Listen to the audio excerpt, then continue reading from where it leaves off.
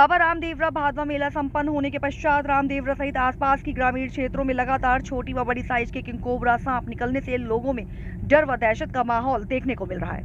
पिछले एक सप्ताह में एक दर्जन से अधिक किंकोबरा सांप अलग अलग स्थान से निकल चुके हैं। रामदेवरा मेला के दौरान जोगी संप्रदाय के लोग सहित मदारी लोग रामदेवरा में आते हैं। व उनका खेल दिखाकर उन्हें आजीविका का, अपने आजीविका का उपार्जन करते हैं। रामदेवरा मेला संपन्न होने के पश्चात अधिकांश लोग इन सांपों को यहीं छोड़कर चले जाते हैं। ऐसे में ये सांप पर्जन करके लगातार बढ़ते ही जा रहे हैं। सांपों का रेस्क्यू करने वाले धनराज सिंह ने पिछले तीन से चार दिनों में सात किंग कोबरा सांप को पकड़कर सुरक्षित रूप से जंगलों में छोड़ा है। रामदेवरा निवासी धनराज सिंह ने बताया कि ये सांपों को पकड़ने का काम आसान नहीं होता है, लेकिन मेरे चाचा किशन सिंह इंदा को देखकर मैंने भी हिम्मत जुटाई।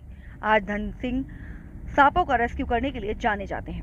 रामदेवरा में जब भी कोई सांप निकलता है तो उन्हें बुलाया जाता है। मंगलवार को सांप निकलने पर धनराज ने छह फुट लंबे सांप को पकड़कर सुरक्षित रूप से रेस्क्यू किया। इस कार्य के लिए रामदेवरा के रोहित सिंह, हनुमान सिंह, भवानी सिंह, छोटू सिंह, लक्ष्मण सिंह सहित अन्य लोग भी सांप पकड़ने में सहयोग प्रदान करते हैं। लगातार निकल रहे किंग कोबरा के कारण लोगों में डर व भय का माहौल देखने को मिल रहा है।